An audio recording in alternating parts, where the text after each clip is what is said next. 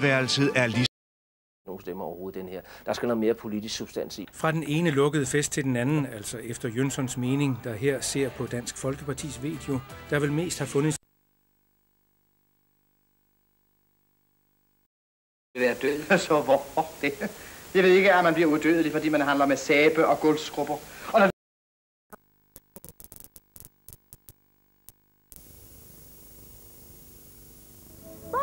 difficult, isn't it, Charlie Brown? Yes, it is.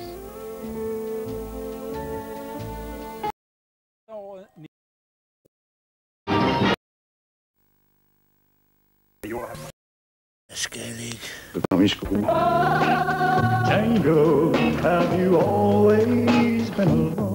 Det betyder ikke noget. Det passer mig fint. Den kører en halv time hver time ud fra Lustigparken. Så det er okay. Er det fedt?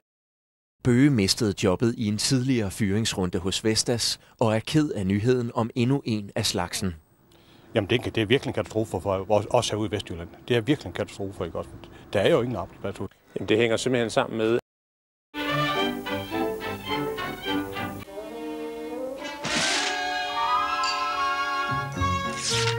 Kære Tiny Toons, jeres film er fuld af finfølelse, mening og hjertevarme. Hvad med at vise en film om folk med store numser?